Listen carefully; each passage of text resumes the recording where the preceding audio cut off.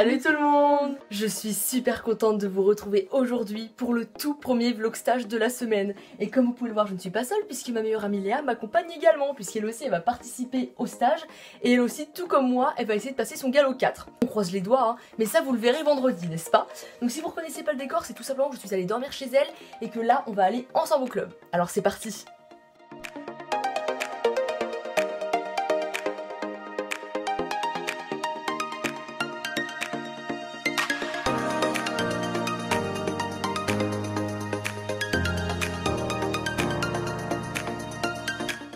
Avant toute chose, je tiens à préciser que les séances de ce premier vlog stage seront exceptionnellement présentées sous forme de débriefing, pour la simple et bonne raison qu'il n'y avait malheureusement personne pour venir me filmer ce jour-là, mais également parce que j'ai rencontré quelques petits problèmes avec la GoPro qu'on m'a prêtée, donc je n'ai tout simplement pas assez d'images pour vous faire des séances commentées. Mais ne vous inquiétez pas, je me rattraperai dans le prochain vlog stage.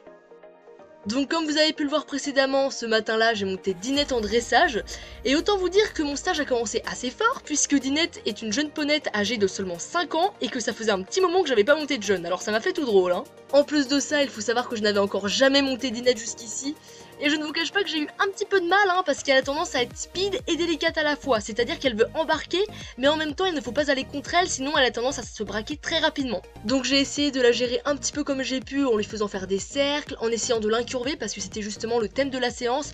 Et puis du coup, Dinette a déjà vu un petit peu l'incurvation, donc ça me permettait de la retravailler derrière. Et ce que j'ai fait pendant la détente, en plus de l'incurver, c'est tout simplement des transitions. Donc après, j'en ai pas fait trop souvent non plus parce que j'avais pas envie de la faire chauffer plus que nécessaire, mais je trouvais ça important de lui faire faire des transitions descendantes pour vraiment lui montrer qu'elle n'avait pas à chauffer comme elle le faisait. Hein. Mais au départ, c'était vraiment pas une partie de plaisir hein, parce que j'avais pas pris l'automatisme de la mettre sur un cercle dès que je sentais qu'elle se mettait à chauffer. Donc du coup, on a eu beaucoup de mal à trouver un terrain d'entente parce qu'on tirait chacune de notre côté et ça n'a pas été agréable, aussi bien pour elle que pour moi d'ailleurs. Hein.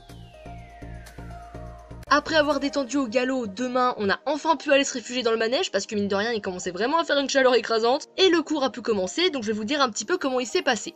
Comme je le disais tout à l'heure, le but de cette séance était vraiment d'avoir un cheval bien incurvé, sauf qu'on a eu une petite difficulté en plus puisqu'on a fait de la mise en selle, on a dû faire ça au 3 6 sans les étriers. Donc je peux vous dire qu'à partir de ce moment-là, je me suis vraiment concentrée sur l'impulsion de Dinette parce qu'elle avait vraiment tendance à accélérer vu qu'elle sentait que j'étais beaucoup moins à l'aise sur elle sans les étriers. Et c'est là que j'ai vraiment pris conscience à quel point c'était important de faire des cercles régulièrement. Donc dès qu'elle essayait de prendre la main, je faisais faire directement un cercle comme ça, ça lui évitait de vouloir accélérer dans les longueurs du manège. Et ça a plutôt bien porté ses fruits parce qu'au fur et à mesure, j'ai senti qu'elle se décontractait et qu'on arrêtait de se batailler à tout va. Bon, ça ne l'a pas toujours empêché de chauffer, hein, parce que ça reste une jeune qui a beaucoup d'énergie, et moi de mon côté, je pensais pas toujours à faire des cercles non plus, mais je suis quand même contente d'avoir réussi à la décontracter un petit peu.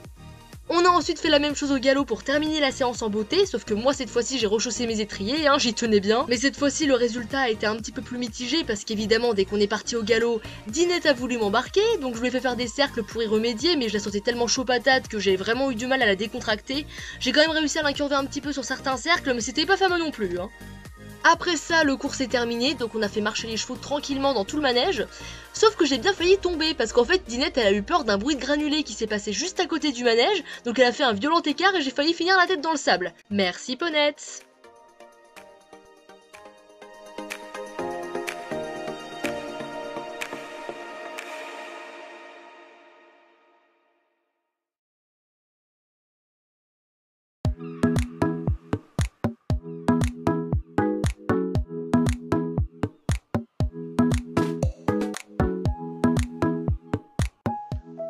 Pour le cours de l'après-midi, j'ai monté mon beau pari sans obstacle. Alors autant vous dire, j'étais super contente parce que ça faisait un petit moment que j'en avais pas fait avec lui. Pour sauter, on est allé dans la grande carrière qui se situe de l'autre côté du club, et c'est là qu'on y a échauffé nos chevaux. Au départ, je ne vous cache pas que je trouvais mon loulou assez peu réceptif à mes aides, hein, donc j'ai dû me fâcher plus d'une fois. Et c'est lors de la détente au galop que je m'en suis le plus rendu compte parce que je n'arrivais même pas à rester en équilibre tellement il manquait d'impulsion, c'est pour vous dire. En plus, il faut savoir que j'avais totalement perdu l'habitude de le monter en équilibre vu que je montais seulement en dressage pendant mon mois de demi-pension. Donc autant vous dire que ça m'a pas vraiment aidé. Après avoir détendu aux trois allures aux deux mains, on a pu commencer à sauter. Et vu que c'était le début de la semaine et que la plupart d'entre nous n'avaient pas sauté depuis un petit moment, le but de cette séance était vraiment de se remettre dans le bain tout doucement en travaillant notre position. Donc évidemment, on n'a pas enchaîné des gros parcours. Ça n'a malheureusement pas été un cours très glorieux pour moi, non pas pour ma position, mais pour ma direction. C'est-à-dire que j'ai eu beaucoup de mal à faire totalement tourner mon cheval pour qu'il soit vraiment dans l'axe de l'obstacle. Donc après, ça va que Paris me sauter, mais je pense que si j'avais eu un jeune, j'aurais eu beaucoup plus de mal que ça. À la fin de la séance, on a quand même pu enchaîner un petit parcours de 4 obstacles, hein, puisque nos passages étaient quand même nettement améliorés tout au long du cours.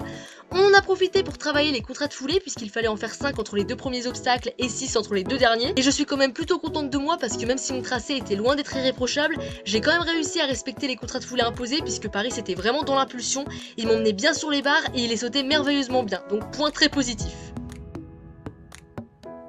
Et pour finir cette journée, à 17h, toujours avec Paris, j'ai découvert à la reprise de dressage que je devrais dérouler le vendredi pour passer mon galop 4. Par la suite, j'en ai profité pour travailler un petit peu Paris sur sa rectitude et ses départs au galop, et le cours s'est terminé sur cette note.